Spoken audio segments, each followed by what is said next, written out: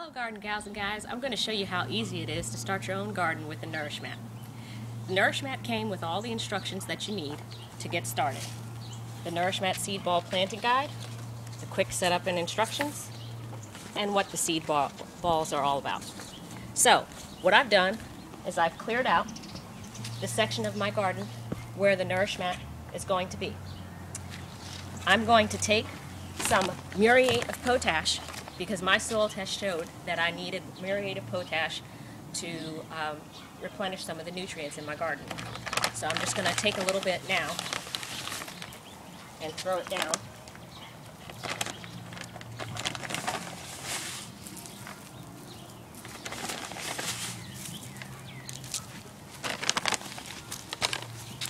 And just kind of work it in.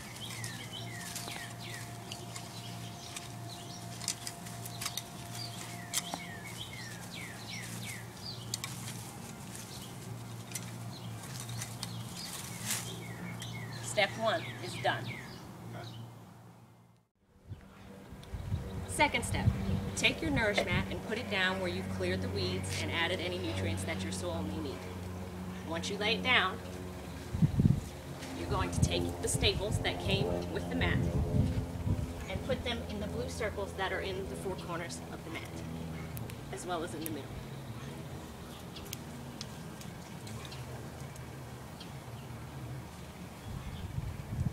Another important step here is to make sure that the ground is level before you put the mat down.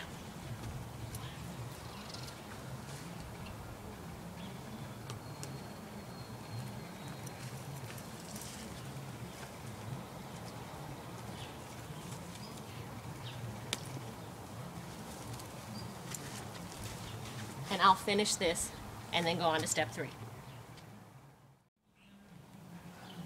Next, we're going to plant the seed balls. The seed balls come in this wonderful little carton that's wrapped, that the seed mat is wrapped around. There's even instructions on the lid on how to do it. So we're going to take the seed balls that are marked for the appropriate ones and push them in until the top half of the seed ball is sticking out. Now, you're not going to plant everything depending on when you plant.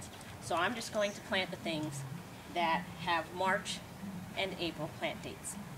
So that for me would be the carrots, the cilantro, the lettuce, the onions, the spinach, the basil, the arugula, the nasturtium, the radish, the chives, the parsley, the kale, and the rainbow chard. I'm going to start with the carrots.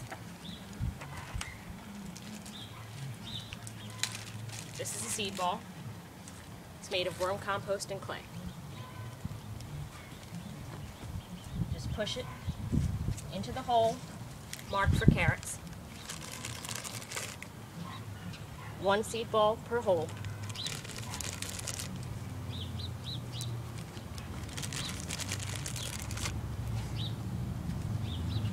Until the entire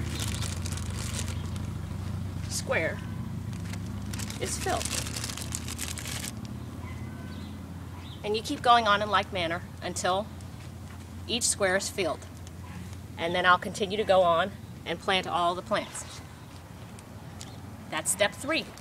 Then it's water for 20 minutes every day to keep the seed balls moist and watch your garden grow.